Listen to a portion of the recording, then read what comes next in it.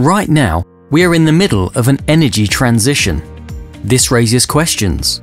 What should we do? Switch to all electric? Look to new energy carriers such as hydrogen gas? Or stick to natural gas after all? More than one solution can lead to sustainability by using a range of energy carriers such as electricity, gaseous fuels, and heat networks. We can create realistic, affordable solutions. If we take the gaseous route, we can distinguish between natural gas, biogas, synthetic gas, and hydrogen gas.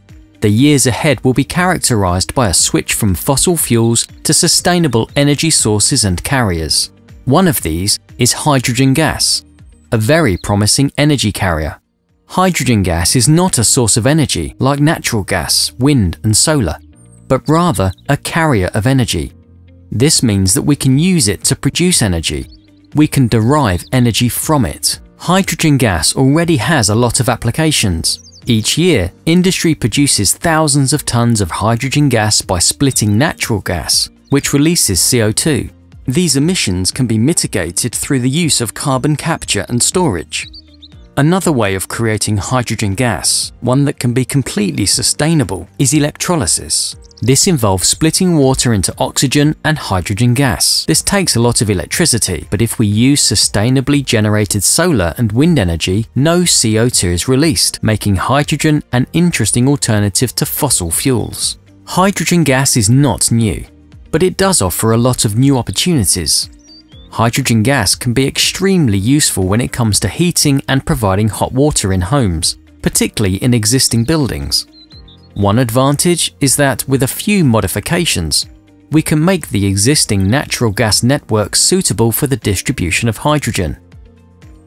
Logical applications for this would be homes with a high temperature heating system and poorly insulated homes that are less suitable for an all-electric solution, or which owing to their location cannot be easily connected to a heat network. Hydrogen gas as an energy carrier offers many opportunities, and more and more research is being done into this. Baxi Heating's parent company, BDR Thermea Group developed the first hydrogen boiler in the world, and the first projects are promising. In the years ahead, we will therefore see hydrogen gas increasingly being applied in pilots and special hydrogen neighborhoods. Hydrogen gas is very promising, but there are issues to be addressed. The production of hydrogen needs to increase significantly, and some modifications will need to be made to our gas network.